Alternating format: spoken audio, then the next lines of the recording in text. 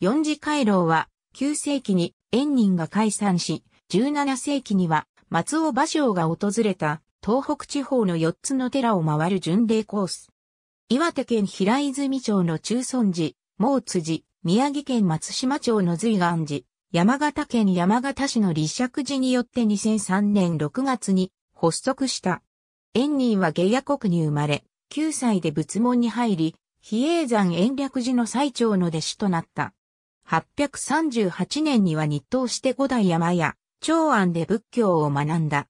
帰国後、第三代天台座スとなって天台宗の布教に尽くし、死後に朝廷より自覚大師の死号を送られた。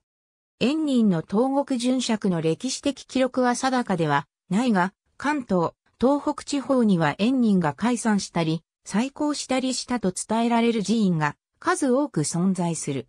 随岩寺は828年、中尊寺と毛津寺は850年、立石寺は860年にそれぞれ円人により解散されたとの事例を持つ。また、1689年には、廃人の松尾芭蕉が奥の細道の旅で四条を訪れている。松島では同行の門人、空が松島や鶴に身を枯れほととぎすの句を残し、平泉で芭蕉は夏草や平友が夢の後、さみだれの子を残してや、行動の肉を山寺では、ひまさや岩に染み入る蝉の恋と読んでいる。以上の歴史背景を縁として、2003年6月13日、四寺が連携して、道のくこ寺巡礼四次回廊が発足した。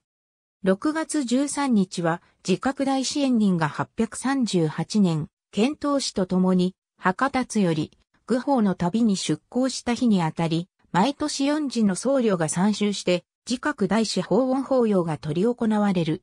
四時回廊御朱印帳四時のいずれかで、専用の御朱印帳を求め、四時の御朱印がすべて揃うと、血眼の印と記念色紙が授与される。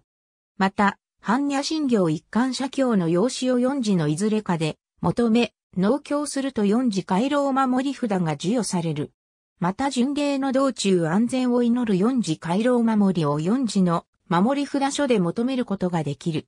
巡礼には決められた順番や期間はなく、随時巡礼を始めることができる。ありがとうございます。